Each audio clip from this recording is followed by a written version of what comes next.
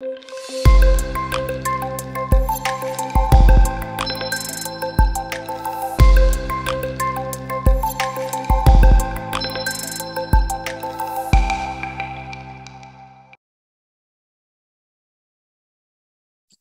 everyone. Welcome to TSAM Digital. My name is Anna, and today I have the pleasure of speaking with Alex Strekel. He is the Director for Investment Management Solutions at Clearwater Analytics. Welcome, Alex.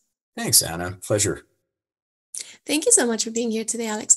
Um, so, to kick things off, um, Alex, I know that Clearwater has made some news lately with a re- recent acquisition of Jump Technology, a leading provider of investment management technology from France. Um, so, can you tell us about why clients and prospects should be excited about Jump? Yeah, so so Jump brings to the table a, a proven solution um, in the European market, and one that we think is very compatible with the needs of the US market as well, particularly when you consider asset managers and asset owners alike. Um, and you compare that to their current existing client base of about 70 plus clients across funds, wealth managers, insurance companies, and then conventional institutional asset managers. Um, Jump itself um, is natively modular. And what we mean by that is Jump's components, its performance, its risk, its portfolio management system, order management system, et cetera, can all be componentized and modularized to be sold as standalone functionality, but also to really mix and match and bundle together into a comprehensive solution based off the client's scope of needs. So when we envision the utilization of Jump, both in Europe as well as over in APAC, as well as in the United States, we think about something that gives us an ability to be extremely nimble in deploying solutions that often require our clients right now to seek out other third party vendors and do it within a single vendor framework, both complementing Clearwater's existing accounting technology, its reconciliation, client reporting, but also with these other pieces that often push clients to seek out best of breed, even when that might not be the preferred model for them overall. Um, we also view Jump as extremely complementary to us in terms of its business um, overall. When we look at the people, when we look at the strong culture that they've built over in Paris, when we look at the satisfaction and the focus on client success, we really think this is quite a home run for our clients across the board and across the globe. So we're quite excited. This is really fantastic. And it's so interesting that you mentioned uh, modularization um, because I know Clearwater has long supported a best in breed model. Um, so, does anything change with that approach? I don't think anything changes, but what it does is it allows us to respond to the market. So we actually ran a, a quick poll of about 100 asset managers um, with a total of 10 trillion under uh, management. And what we asked is we said, okay, w- with your current platform, are you an all-in-one? Is it proprietary? What's the primary kind of technology footprint, so to speak, right? Or operational footprint or vendor footprint, however they want to define that. And what we found was the overwhelming majority define themselves as best of breed to the tune of about 65% plus, right, within that the group surveyed. What we then said is, okay, of those that are best of breed, are you best of breed by choice, meaning that you feel like this is truly the right model for you? Right? Where you've gone out, you've selected the vendors and truly feel like you're harnessing the best technology, or you best of breed by necessity, meaning that you just couldn't find somebody that could do everything under the single vendor umbrella, or you know you're willing to kind of accept some deficiencies within certain areas of the of the value chain or within the OMS to PMS to the accounting that make it such that you just don't feel like there's a good solution in the market. And what we found of that was the overwhelming number of respondents within that 65% plus came back and said, we feel like it's by necessity, which says to us that there's a gap in the market of being able to both be extremely structured, um, incredibly competent within deploying a SaaS based technology first solution, but also doing so in a manner that allows the single vendor framework to be in place. And so when we looked at Jump, we said, okay, we've got a tremendous technology solution. Its extensibility is really incredible. When I look at some of the elements of Jump when it pertains to performance or client reporting, its ability to even just incorporate new asset classes, right? And really the technology engine behind that is a strong culture of development and client satisfaction, which we think is extremely important. But then to take that tech- technology and push it forward becomes an extraordinarily flexible process and very easy to meet the client needs at hand, but also very easily to sit there with clients and say, okay, here are the choices of products and create a menu approach that allows both the best of breed technology that some seek, but also incorporating that into a single vendor model that allows for all that flexibility that people seek in terms of I want to be paying a single price to a single vendor that supports my technology, that allows me to deploy that and have it be really something I can build my business around predictably versus managing kind of other vendors by necessity because I just don't feel like there's a good solution in the market. And that's really what excites us the most, I think, about the dual offering if you think about it moving forward. This sounds so exciting, Alex. Um, and I wanted to ask, what tools should clients and prospects be most excited about? Yeah. So when, when, we look at Jump and we see the functionality that it brings to the table, we're really excited about incorporating the performance offering, for instance, and being able to meet the needs of a lot of clients that I think oftentimes um, are sold a solution that's a bit too much right? That's extremely rigid in the way of performance attribution. That um, is very much kind of the uh, how should we say the the uh, you know round hole square peg, right? Being pushed in. Um, that's not right sized for their business. And when we look at the performance attribution and we see the availability, for instance, for custom sectors, custom benchmarks, right? Being able to create and run returns on the fly, being able to aggregate returns up to the asset class, as well as disaggregate them into custom sectors or down to the security type. We see something that's extraordinary flexible technology that's very easily comportable over to the daily use of many of these managers who are paying an oftentimes exorbitant amounts of money out of their budget for technology that's awesome and incredible, but technology that's not necessarily meeting the need of their firm, but is meeting the needs of kind of a holistic approach of the market, right? So their performance attribution can be right sized. And in being right sized, drive value that then drives a cost price point for a lot of these firms that just simply we don't think is available on the market for many. If we extend that forward, we believe the same is true of the order management solution.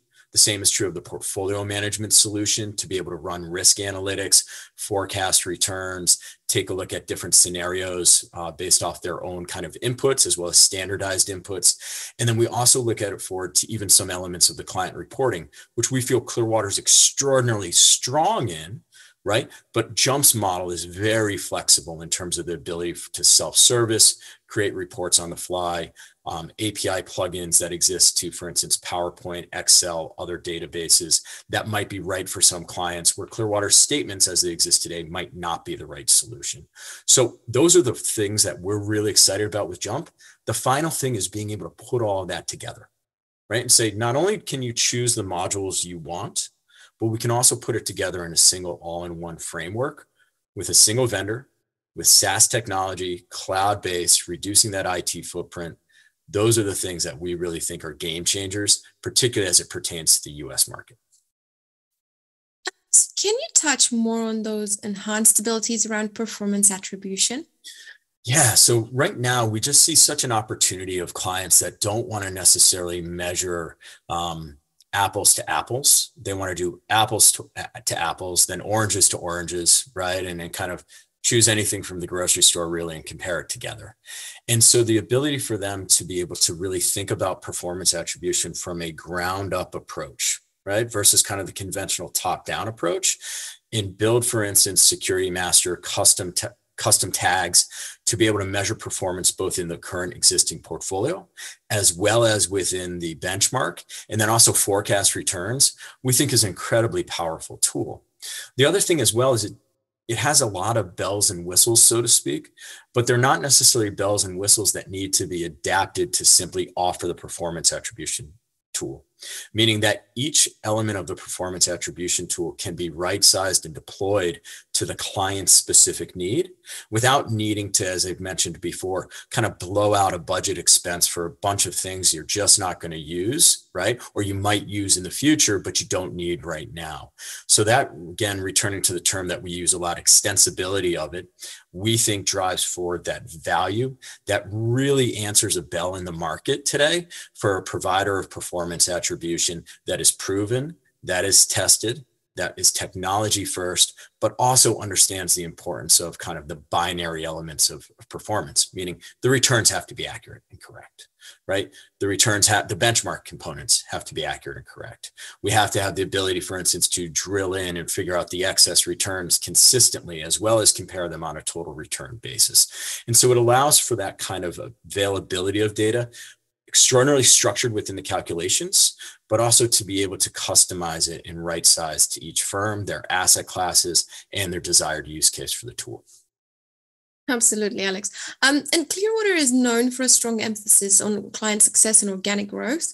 Um, so, how does Jump align with this? So, Jump's had a tremendous uh, story of kind of their growth. It's a, it's, it's a founder led organization, um, and they've built an incredible product and one that we're honored to be able to work closely with. Um, we also look at uh, very much into their clients and their levels of satisfaction with Jump. And simply put, kind of the resounding feedback within the market is, is similar to what we find with our clients, which is we're deeply satisfied with the offering.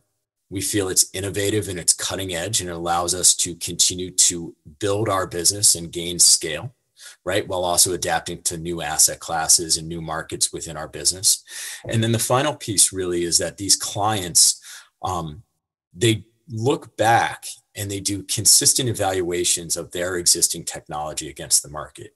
And continually, they're committing to stay with Jump's technology in a similar manner that our clients are staying with Clearwater with our with our 98% plus retention rate, right? So when you take a look at those factors, it means that in order for that organization, we think to continue to deliver value to clients, which is extraordinarily important. It's one thing to deliver service, it's one thing to deliver technology, it's a completely another thing to deliver value. We see an organization that invests in its product and invests in its clients. And so within that, the spirit of the acquisition is such that Clearwater is investing actively in Jump's technology. Clearwater is also going to invest actively in improving its own technology and that of Jump and ultimately, what that allows is a single umbrella for clients to utilize the product suite that we now present with that deep culture, deep investment, and continued innovation that allows clients truly an evergreen framework, we think, to build their future operations, client reporting, accounting platforms, performance attribution platforms off of in the future, which we think is super exciting. And we're already seeing tremendous response in the market about that. Alex, finally, um, what is the timing for the rollout of Jump in North America?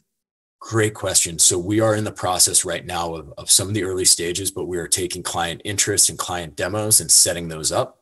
We're focusing both on opportunities within our current client set. So for instance, performance attribution, OMS, PMS functionality for existing Clearwater clients, as well as clients that are um, looking for, for instance, nimble elements of jumps technology right the more modularized approach the other approach is certainly the pros the prospective uh, market which we think is enormous for jump in the us when we look at its capabilities to support funds when we look at its capabilities to support wealth managers family offices and a whole host of other folks within the asset owner marketplace um, honestly we feel like we just can't spend enough time taking in that interest that's coming to us right now of being able to house everything together within a single vendor framework harness the best technology of clearwater and jump together and produce really as i mentioned what we think is an incredibly um, powerful offering that is game changer within the asset management industry. We think both not only in emea as jump has been but also within the us so when we talk about really the the rollout we're actively rolling that out we're focusing very heavily on elements of integration as well as elements that complement our current kind of technology and the way we're positioned within the market. And we really expect to begin to see clients utilizing Jump within the next, call it six to eight months in terms of being really a strong offering that drives forward their investment management platform in the near future in the United States. That's fantastic, Alex. Um, best of luck with the rollout, and we look thank forward you. to seeing it developing. Um, and thank you so much for being here with us today and, and sharing uh, everything with us with the community. Uh, we look forward to seeing you again soon. Yeah, Anna, thank you so much, and it's been a pleasure. And certainly, if you're interested, feel free to reach out. Thank you.